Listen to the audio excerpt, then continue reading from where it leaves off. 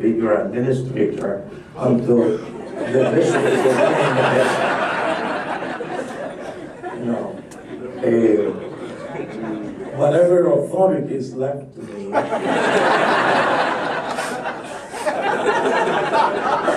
I will use to help Bishop Strickland and to continue to help the diocese to get into this new uh, episcopal times in the diocese.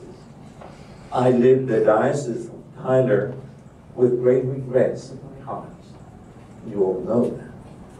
Because I have learned to love you and you have learned to put up with me.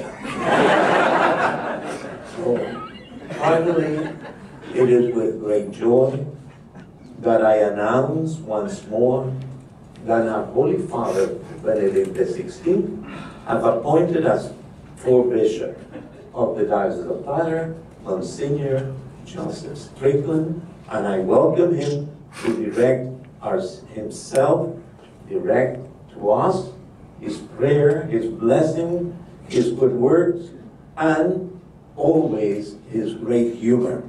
so, welcome, Bishop Joseph.